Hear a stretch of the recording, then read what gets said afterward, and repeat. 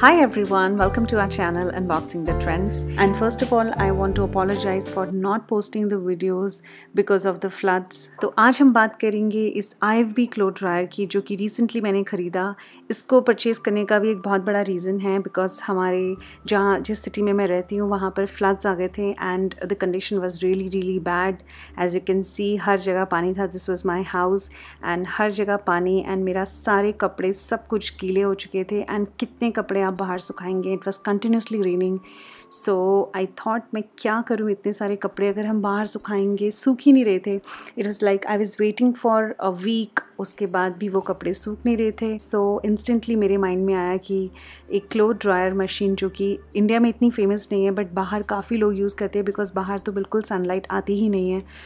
तो ये मैंने फिर आई के डीलर से मंगाई एंड उस डीलर ने मुझे ये within one day machine पहुँचा दी एंड सेम डे ही इंजीनियर आ गए थे इसको सेट करने के लिए। तो ये है छोटी सी वीडियो जो कि मैंने इंजीनियर जब उसको सेट कर रहे थे, तब मैंने ली। तो उन्होंने इस टाइप से पूरा एग्जॉस्टर एंड सब कुछ वो लोग खुद ही लगाते हैं। आपको इसको असेंबल करने का कोई टेंशन नहीं है। He will tell you each and everything so this is how the machine looks and इसको ये जो इसका एग्जॉस्टर है, अभी इसको मैंने ऐसे ही छोड़ा हुआ है बिकॉज़ मैं रेंटेड अकोमोडेशन में रहती हूँ बट अगर आपका परमानेंट अकोमोडेशन है तो आप उसको प्रॉपरली फिक्स करा सकते हैं।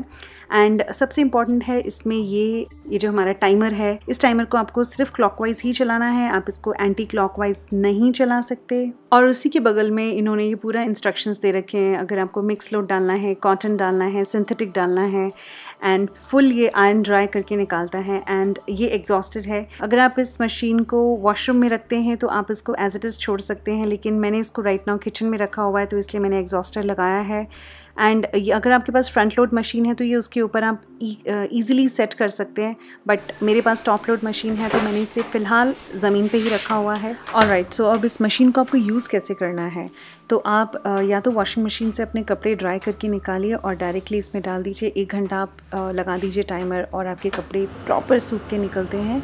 फ़र्स्ट इज़ दिस सेकेंड आप अगर आप हाथ से कपड़े धोना प्रेफर करते हैं तो आप उसको बिल्कुल गीले कपड़े इसमें मत डालिए बिकॉज़ इसमें कोई पानी निकलने का सोर्स नहीं है।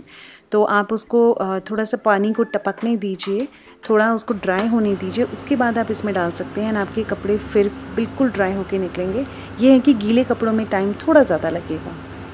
सो so, एक बार जब आपके कपड़े धुल के बाहर निकलते हैं तो आपको ये जो फ़िल्टर है इसको बाहर निकालना है और इसके अंदर एक मैश है जिसमें सारे रेशे वगैरह चिपके हुए रहते हैं। तो वो आपको निकालना है after every wash this is very very important अगर आप ये नहीं निकालेंगे तो आपकी जो मशीन की एफिशिएंसी है वो कम हो जाएगी और आपको ये स्टेप हर बार फॉलो करना है। ऑल राइट सो अब इस मशीन की द मोस्ट इंपॉर्टेंट थिंग्स जो मैं आपको बताती हूँ। uh, सबसे पहले इसका जो प्राइस है that is eighteen thousand seven hundred जो कि आई एफ़ बी वालों ने मुझे कोट किया, इसमें ज़्यादा कम भी हो सकता है। That depends on your city second ये 15 ए एम पी प्लग पे ही लगता है तो अगर आपके पास वो नहीं है तो वो आपको लगवाना पड़ेगा। और थर्ड अगर ये ऑटोमेटिकली बंद हो जाती है तो जो मैंने अभी आपको स्विच दिखाया, उसको आपको थ्री टाइम प्रेस करना है और ये जो मशीन है वो रीसेट हो जाएगी। एंड इसको आप मैक्सिमम 50 टू 60 मिनट ही चलाइए बिकॉज़ मशीन बहुत ज़्यादा जब गर्म हो जाती है तो वो ऑटोमेटिकली काफ़ी बार बंद होने के चांसेस भी होते हैं।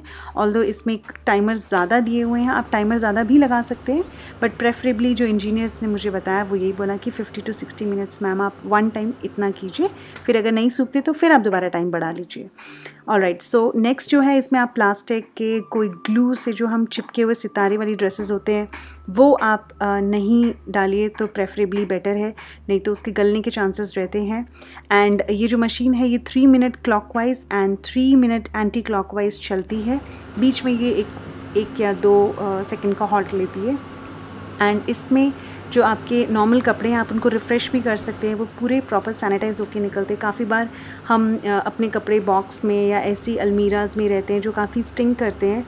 ऑल उनको सिर्फ़ धूप की ज़रूरत होती है। अगर आपके पास धूप नहीं आ रही है तो आप अपने कपड़ों को उस टाइप से सैनिटाइज भी कर सकते हैं।